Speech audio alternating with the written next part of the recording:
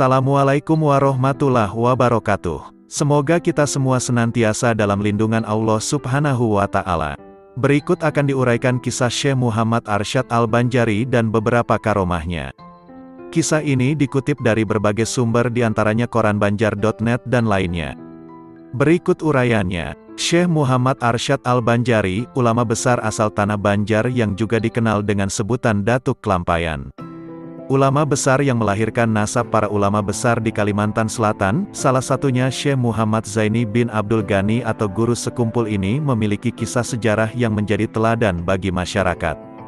Dari sekian banyak kisah sejarah yang menarik, kisah pertautan cinta putri Syekh Muhammad Arsyad Al-Banjari yang bernama Fatimah dengan Syekh Abdul Wahab Bugis, juga menjadi kisah yang sangat fenomenal. Selama menuntut ilmu di Masjidil Haram Mekah, Syekh Muhammad Arsyad Al-Banjari dipertemukan dengan tiga sahabat sesama penuntut ilmu, seperti Syekh Abdul Samad Al-Falimbani, Syekh Abdurrahman Misri Al-Jawi, dan Syekh Abdul Wahab Bugis, sehingga mereka dikenal sebagai empat serangkai dari Tanah Jawi. Dikisahkan, sebelum pulang dari menuntut ilmu, keempat sahabat ini sepakat untuk berhaji ke Tanah Suci Mekah. Ketika itu, tanpa disangka Syekh Muhammad Arsyad bertemu dengan adik kandungnya, Zainal Abidin bin Abdullah yang sedang menunaikan ibadah haji. Kemudian, adiknya membawa kabar bahwa anak dia yaitu Fatimah sudah beranjak dewasa dan sang anak menitipkan cincin kepada dia. Melihat hal demikian, tiga sahabat Syekh Muhammad Arsyad masing-masing mengajukan lamaran untuk memperistri anak dia.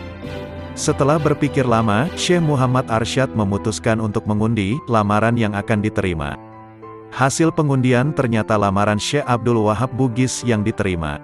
Dari situlah terjalin pertautan cinta antara putri Syekh Muhammad Arsyad Al-Banjari dengan Syekh Abdul Wahab Bugis. Setelah menerima lamaran Syekh Abdul Wahab Bugis, kemudian Syekh Muhammad Arsyad Al-Banjari melaksanakan ijab kabul pernikahan antara Syekh Abdul Wahab Bugis dengan Fatimah binti Syekh Muhammad Arsyad.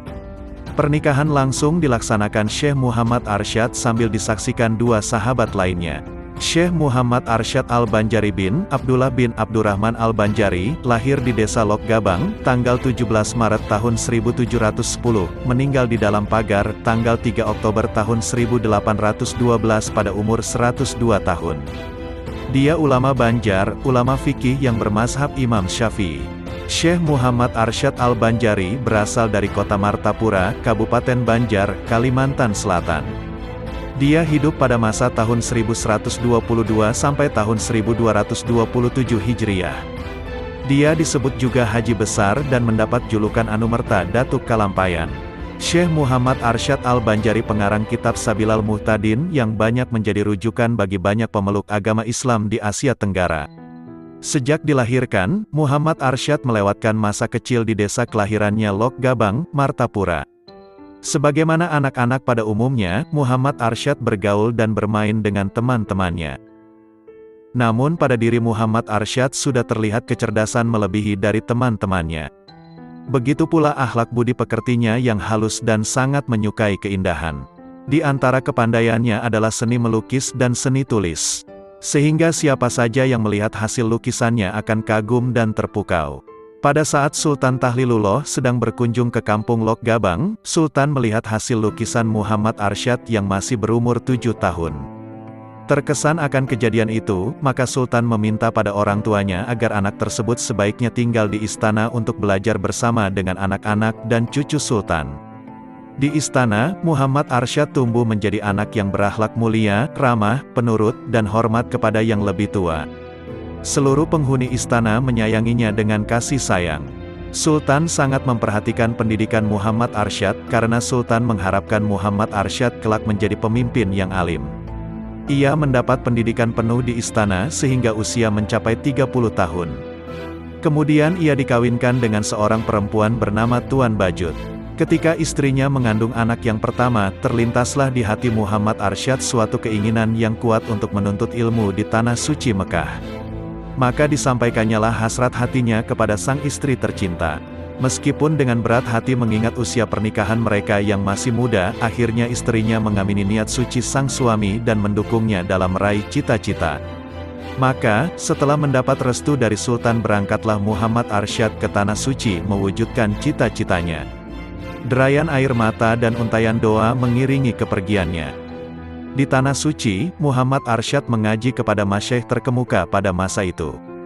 Di antara guru dia adalah Syekh Atoilah bin Ahmad Al-Misri, Al-Faqih Syekh Muhammad bin Sulaiman Al-Kurdi dan Al-Arif Billah Syekh Muhammad bin Abdul Karim Al-Saman Al-Hasani Al-Madani. Syekh yang disebutkan terakhir adalah Guru Muhammad Arsyad di bidang tasawuf, di bawah bimbingannya lah Muhammad Arsyad melakukan suluk dan halwat, sehingga mendapat ijazah darinya dengan kedudukan sebagai khalifah.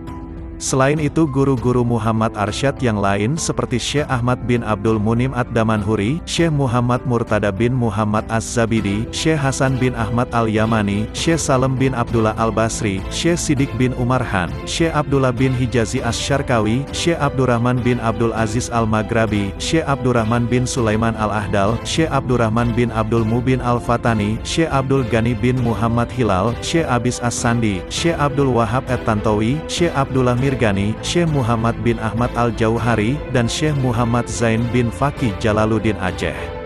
Setelah lebih kurang 35 tahun menuntut ilmu di Mekah dan Madinah, timbullah niat untuk menuntut ilmu ke Mesir. Ketika niat ini disampaikan dengan guru mereka, Syekh menyarankan agar keempat muridnya ini untuk pulang ke Jawi, Indonesia, untuk berdakwah di negerinya masing-masing.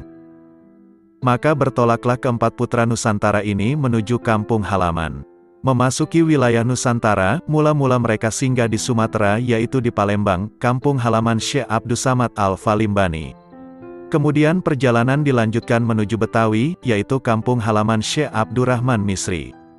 Selama di Betawi, Syekh Muhammad Arsyad diminta menetap sebentar untuk mengajarkan ilmu agama dengan masyarakat Betawi. Salah satu peristiwa penting selama di Betawi adalah ketika Syekh Muhammad Arsyad membetulkan arah kiblat Masjid Jembatan 5, Masjid Luar Batang, dan Masjid Pekojan.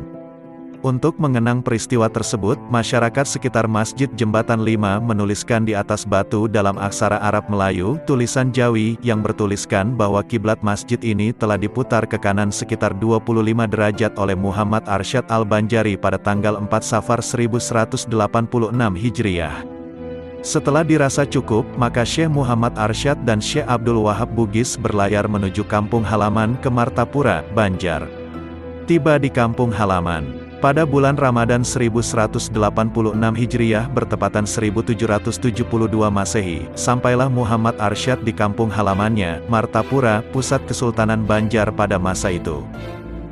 Akan tetapi, Sultan Tahlilullah, seorang yang telah banyak membantunya telah wafat dan digantikan kemudian oleh Sultan Tahmidullah II bin Sultan Tamjidullah I, yaitu cucu Sultan Tahlilullah.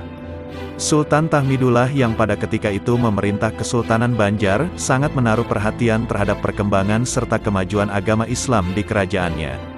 Sultan Tahmidullah II menyambut kedatangan dia dengan upacara adat kebesaran. Segenap rakyat pun mengeluh-elukannya sebagai seorang ulama, matahari agama, yang cahayanya diharapkan menyinari seluruh Kesultanan Banjar. Aktivitas dia sepulangnya dari Tanah Suci dicurahkan untuk menyebarluaskan ilmu pengetahuan yang diperolehnya. Baik kepada keluarga, kerabat ataupun masyarakat pada umumnya. Bahkan, Sultan pun termasuk salah seorang muridnya sehingga jadilah dia raja yang alim lagi wara. Berikut akan diuraikan beberapa karomah Syekh Muhammad Arsyad Al-Banjari. Dalam sebuah riwayat disebutkan, Syekh Muhammad Arsyad Al-Banjari bertemu dengan Datuk Sanggul di Mekah, yang pada saat itu bisa pulang pergi ke Kalimantan di hari yang sama.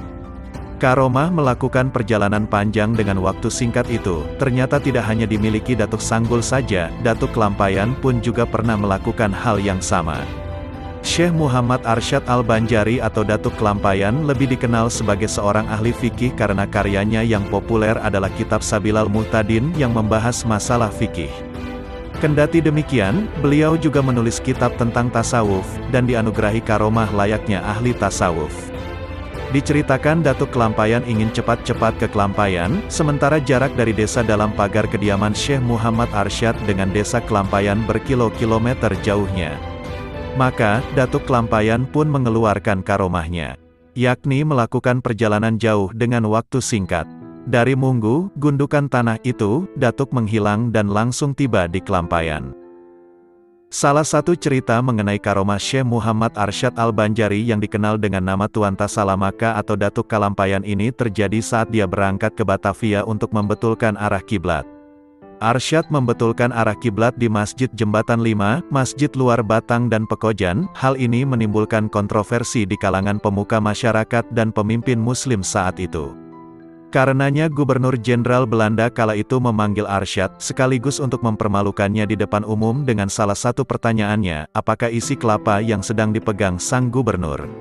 Syekh Arsyad menjawab isi kelapa itu air dan di dalam air itu ada ikan, lalu hadirin tertawa mendengar jawaban yang tidak masuk akal itu. Akan tetapi, setelah kelapa itu dibelah, memancarlah air dan keluarlah ikan yang masih hidup dari dalamnya. Hadirin yang tertawa sebelumnya berubah menjadi takjub dan kagum melihat karomah yang dimiliki Syekh Arsyad.